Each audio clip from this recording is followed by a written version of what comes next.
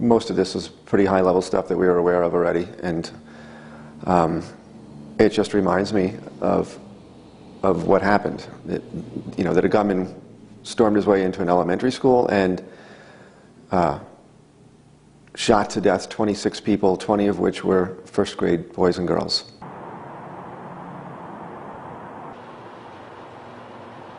I can't do nothing. My 12 year old son said, I hope that no other family ever has to go through this again.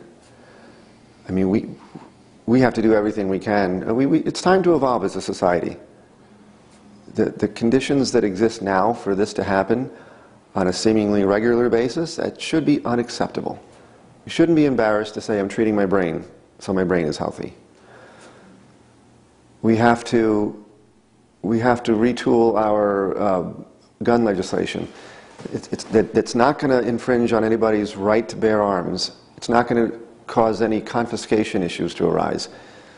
Um, um, universal background checks, uh, enforcing the laws that are already in place, uh, zero tolerance on trafficking and straw purchases, and the ban of high capacity magazines outside of a shooting range. Those are common sense that gun owners and the majority of Americans support. We're very much connected.